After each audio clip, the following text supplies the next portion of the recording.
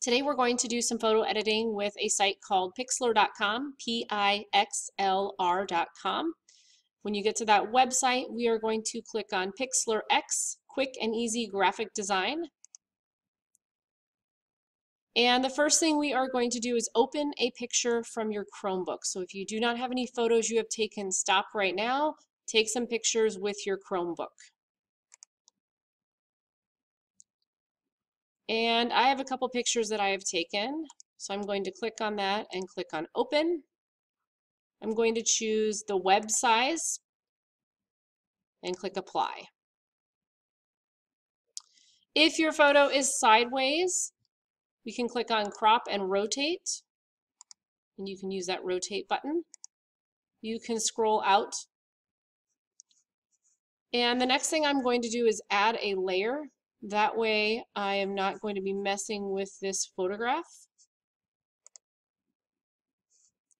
So you can add an empty layer, an image, you can add a frame, text, you can add shapes. I'm just going to go with empty for now. And you'll see a layer is now above this. So if I'm working on this layer, it will not do anything to my photograph. This is nice because if I wanted to add things on the second layer, I can do that. However, I want to get rid of all of the background around this flower. So to do that, I'm going to click on the cutout button and I'm going to use the magic cutout and I'm going to remove the background around the flower. So as I start clicking, it knows that I want to keep the flower.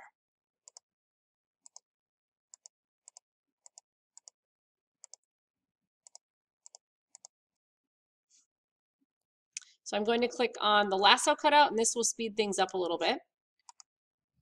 So if I lasso around things, it will remove everything that I have outlined. So if you're doing very large areas and you don't need to worry about getting up close to all your little details, this is a great tool to choose.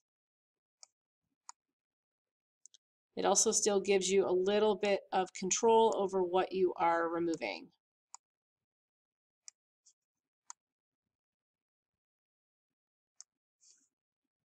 If you wanted to do the draw cutout, this is where you can draw around things, draw long lines, and it will cut out. So you do have some different cutout tools.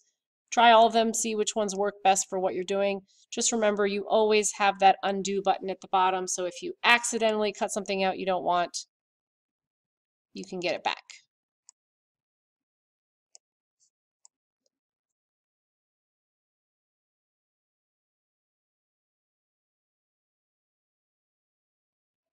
All right, so I'm getting in there nice and close, trying to get all of these little parts. I can zoom way in to get rid of some of these things. If you're not too worried about some of those little dots showing up, you can also just leave those. Now I've got my flower to the point where I have cut it out, and now I can do some things with the background. Don't forget you can change the size of your cutout tools and you can zoom in to make it really precise. So now at this point, I can add something behind my flower. I could add a photograph. So if I wanted to add a layer even behind this, I can drop the layer here and I could make the background here. So if I wanted to add another image, you can use their stock photos, you can find something off the internet, you can browse on your own as well. But what I'm going to do is add a picture from my computer. So I'm going to click on Browse, and I have some artwork that I've taken photos of. So if I click Open, it shows up behind my flower because it's on the layer underneath my flower. So I'm going to rotate that. I can do some resizing. This is a painting. So this is a fun way to combine photography with drawing, painting, collage. Now I have a painted background. I could also play around with the um, different elements. I could add borders, shapes, stickers, there's overlay. So if I, some of these you have to pay for, sorry. But if I wanted to add some different designs, I could do that. So I encourage you to play around with those. I could add text if I wanted to turn this into something card for somebody. I wanted to send an image to them. I could do some different backgrounds, plain colors if I wanted to do that. Adjust and filters. So if I click on this layer, make sure you're on a layer, you can do an auto adjustment where it will make things brighter, lighter. You can change to black and white. You can make things pop out. You can add effects. So again, these are things play around with because you can always click that undo button if you do not like it. You can play around with the liquify tool, which swirls things. Make sure you clicked on the layer that you want to work on.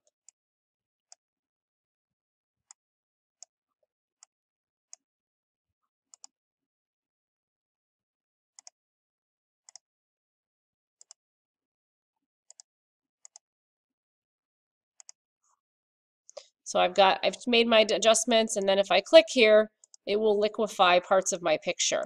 And because my flower is on a different layer, it will do nothing to my flower. Again, if you don't like something, click undo.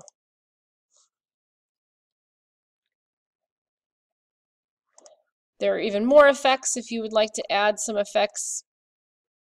And it gives you a nice preview before you click on it.